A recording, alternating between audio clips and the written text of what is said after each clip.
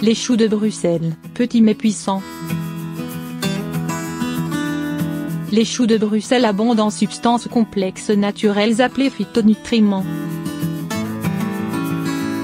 Des composés azotés appelés indoles limiteraient l'incidence de certains cancers.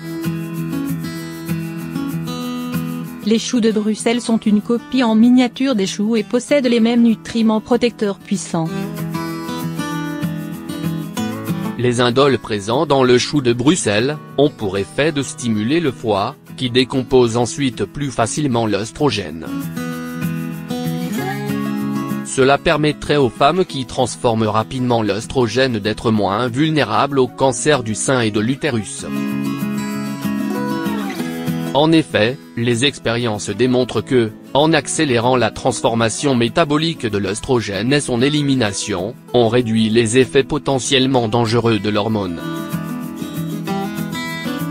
De plus les indoles aident à stimuler la production de certaines enzymes qui contribuent à débarrasser l'organisme des toxines cancérigènes.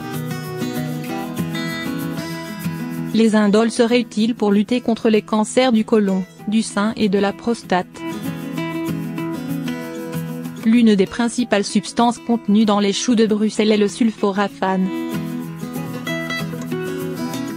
Il déclenche la libération d'enzymes qui contribuent à débarrasser les cellules de notre corps des déchets toxiques, diminuant ainsi le risque de cancer.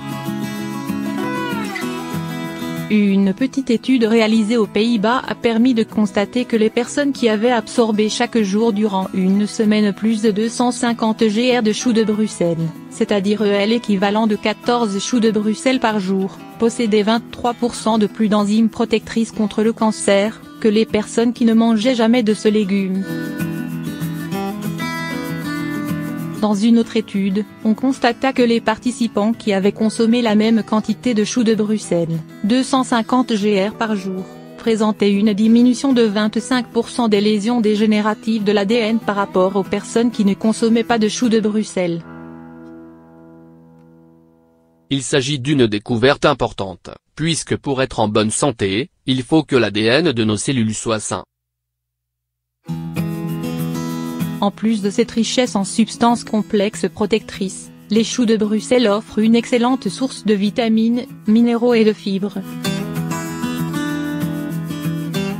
Ils contribuent à la protection, en plus du cancer, de la constipation et des ennuis du tube digestif.